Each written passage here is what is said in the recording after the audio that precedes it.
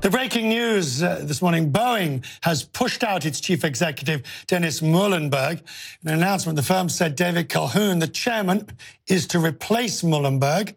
Clare Sebastian is in New York. Uh, this is very strange timing. I mean, most of us believed Muilenburg would not survive much longer, but to get rid of him or to announce this the day before Christmas or the you know Christmas Eve I mean, what are they hoping? We're all going to ignore it.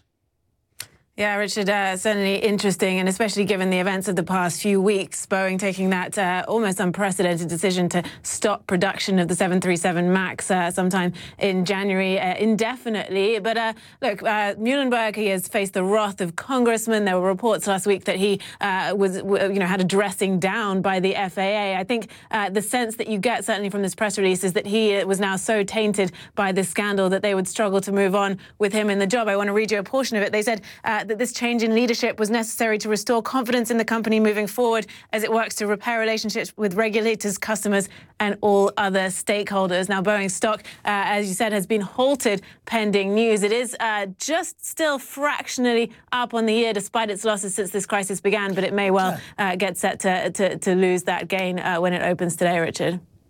Or the opposite. It may rally sharply now Muilenburg has gone because he was perceived to be part of the problem. This all happened on his watch. And of course, they changed head of Boeing commercial. Uh, Kevin uh, came in uh, uh, and all of this. But, but, the, but the reality is, it's still a strange time to do it.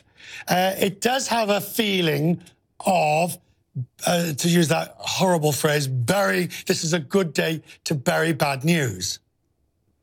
They certainly might face criticism uh, for that, Richard. And, and, you know, they could have done this in the weeks leading up to this. They could have done it before they uh, they announced that that uh, suspension of production uh, of the 737 Max. Don't forget, uh, in the last week as well, they also had that that botched uh, Starliner mission that failed to make it to the ISS, although it did land safely over the weekend. but look, it's been a, a, really rough time for this company. This is, in, in, the views of many people, the biggest crisis in its more than 100-year history. The 737 Max was its best best-selling plane. The costs amounting for Boeing already topping 9 billion, Richard, and this is set to spill over into the broader econ economy as the results uh, of that stoppage in production trickles through. There's thousands and thousands uh, of suppliers who are going to be affected by this. So uh, the ripple effects of this crisis will continue regardless of who is in the top job at Boeing. Uh, yeah, but I suppose the argument will be it look like they've got they might look like they've got their they're not tainted by the past and they've got their hands around the neck of the thing. One other thing, there's the Boeing Starliner. Now this space I mean, it failed to get into the right orbit because somebody put the wrong digits in uh, into the clock. Now, apparently, it has landed safely uh, in the desert, but I mean, I suppose this is just a sort of a black eye rather than a, a, a body blow.